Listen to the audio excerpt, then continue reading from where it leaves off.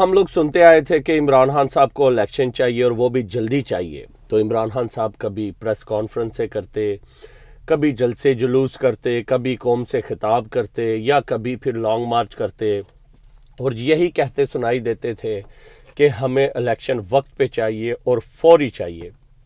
इमरान खान साहब ने ये बयानियाँ पूरे पाकिस्तान क्या, पूरी दुनिया के अंदर बिल्ट अप कर दिया कि हमें इलेक्शन अपने वक्त पर चाहिए। हम कॉम्प्रोमाइज़ नहीं करेंगे, चाहे जो मर्ज़ी हो जाए।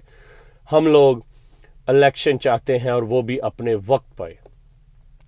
और फिर जुडिशरी के पास ये केस चला गया, बल्कि उन्होंने सो मोटो नोटिस लिया और खुद नोटिस के अंदर उन्होंने एक फैसला दे दिया, वो भी अपनी मर्ज़ी का।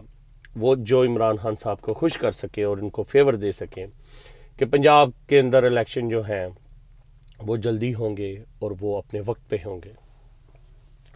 तो खैर, इमरान खान साहब ने ये सारे का सारा बयानिया बिल्टअप किया, मगर अब कल इमरान खान साहब ने कहा है, इमरान खान साहब ने यह फैसला किया है कि कानून साजी करें और ये हुकूमत के साथ मिलकर कोई ना कोई तारीख बनाना चाहते हैं।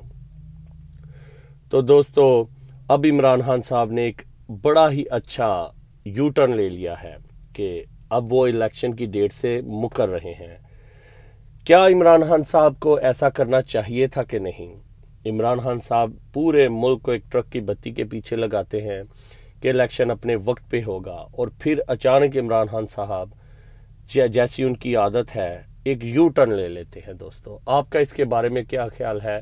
कमेंट्स में ज़रूर बताइएगा।